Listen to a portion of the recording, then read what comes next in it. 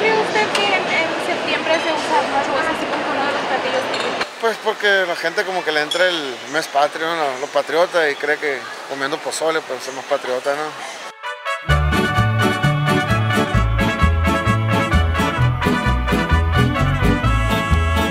Son norteños, mis chiles son norteños, o sea, son, son adaptados. Todo el mundo me decía, te pasas mucho tiempo picando, todo tiene que ser muy finito, eh, eh, hay que tatemar los chiles y luego pelarlos y luego limpiarlos. Eh, la carne hay que picar todo muy poquito, o sea, finito, y hay que, hay que, la fruta, picarla, todo. Pero a mí no, o sea, me gustó, todo el proceso me gustó. Sí te cansas a veces cuando me ha tocado reuniones que hago hasta 50 chiles, eh, sí te cansas de estar picando algo, pero, pero me gusta me gusta. Entonces, vale la pena el, lo laborioso o el tiempo que le dedicas a eso, vale la pena porque es un platillo bonito, es un platillo muy de nosotros, es un muy rico. Tengo una amiga que es de Puebla y de repente me dice, no llevan esto, son norteños, mis chiles son norteños, o sea, son, son adaptados. No es lo mismo que ustedes coman una carne asada en México, en Puebla, a comerla aquí en Sonora, ¿verdad? Bueno, pasa lo mismo con los chiles. Yo sé que los de allá son los más típicos, puedo decir, pero los de aquí tienen un sabor mu- muy agradable, muy aceptable a nosotros. ¿Y como qué tipo de ingredientes le cambió? Mira, por ejemplo, eh, que lleva piñón. A mí el piñón no me agrada, es como, no sé si tú has probado la bellota. La bellota tiene un sabor que no a mucha gente le gusta, ¿no? No le echo licor. Mucha gente le echa, pues no sé si jerez o licor. No, no, eso no, no, lo, no lo procuro. En otras recetas me tocó que demasiada fruta. Este, en otras recetas fríos, demasiado frío el, el- el- el relleno. Y yo lo adopté con los sazón o, o con las especies que normalmente usamos nosotros aquí. Sea, eso fue lo que yo le, le fui cambiando. Y otros detallitos de que cómo guisar la carne al principio, porque primero hago lo salado, ya que me gusta el sabor salado, empiezo a darle el contraste con lo dulce. Entonces, hay veces que puede ser que no le eche tanta fruta porque no lo necesito. ¿Por qué? No sé. A lo mejor la sal no es mucha, no sé, pero no siempre he hecho las mismas cantidades. Entonces, eh, lo, que, lo que yo hago es ese sabor que se me quedó grabado, ese es el sabor que yo busco.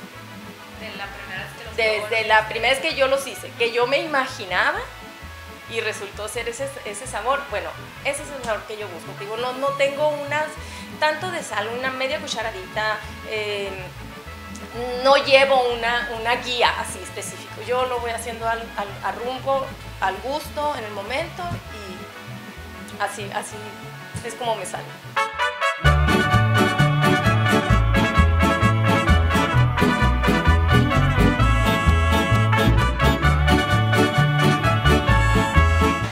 Pozole está hecho a base de carne de puerco, lo que es costilla y pierna de puerco.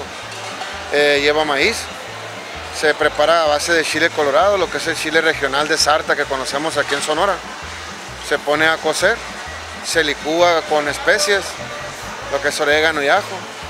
Al momento de poner a cocer todo junto, se le agrega cebolla y chile verde. Y se le da un tiempo de cocción de tres horas, cuatro, Todos los días. todos los días. ¿Y si es buscado un platillo o es? Pues sí, es muy buscado, es muy requerido, más en estas fechas. Lo que es septiembre, noviembre, y en tiempo de, de- de invierno se busca más. ¿Con qué se acompaña? Pues aquí se, co- aquí se acompaña con, con repollo, con cebolla, cilantro, chiltepín. Hay gente que lo acompaña con tortilla de maíz o pan con mantequilla tostada. O con totopo puede ser. O sea, hay una parte que lo hacen verde, otros lo hacen blanco. Pero, pero la preparación pues puede ser que sea casi casi lo mismo, ¿no? Que es el pozole nosotros, que nosotros preparamos aquí, es, pozole de puerco, ¿no?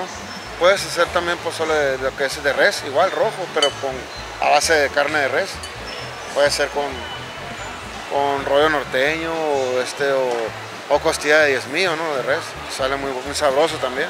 Se le pueden agregar lo que son las manitas de puerco, ¿no? Pero, pero aquí pues lo hacemos así nada más con pierna y costilla.